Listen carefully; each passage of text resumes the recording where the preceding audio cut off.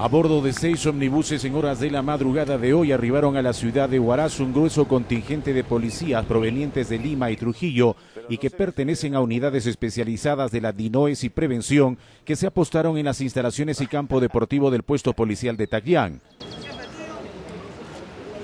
Según informaciones extraoficiales, los efectivos desarrollarán por el lapso de una semana operativos inopinados en todo el callejón de Huaylas como parte de las acciones emprendidas por el Ministerio del Interior para hacer frente al crimen organizado en la región Ancash.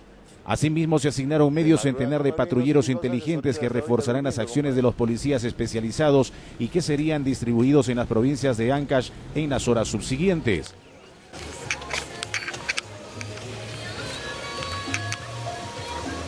Respecto a la llegada de personal policial en número de 500 efectivos, así como las acciones específicas que cumplirán en la zona, el alto mando de la DIRTE Polancash no se ha pronunciado al momento.